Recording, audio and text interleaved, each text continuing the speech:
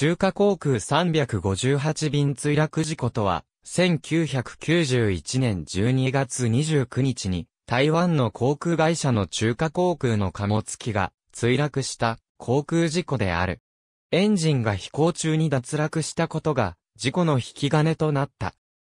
当日、中華航空358便は航空貨物便として台北の中西国際空港からアメリカ合衆国アラスカ州アンカレッジ国際空港に向けて離陸した。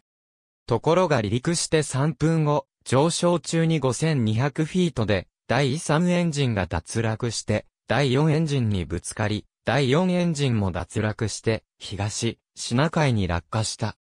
この時運行乗務員は異常が発生したのは第2エンジンだと報告している。運行乗務員はトラブルを報告し、航空交通管制から空港に戻るための左旋回許可を受けた。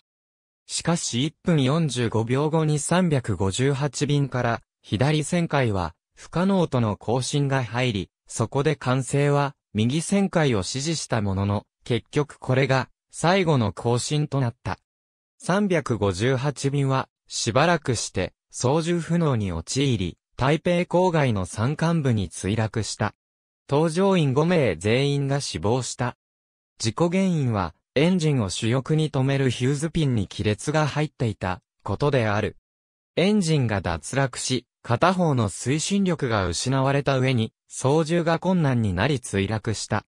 事故機は1980年に製造され、カーゴルックス航空が LX ウェクフとして導入した後、1985年に中華航空に売却されたものであった。翌1986年5月には、中華航空334便ハイジャック事件が、冬季で起きている。ありがとうございます。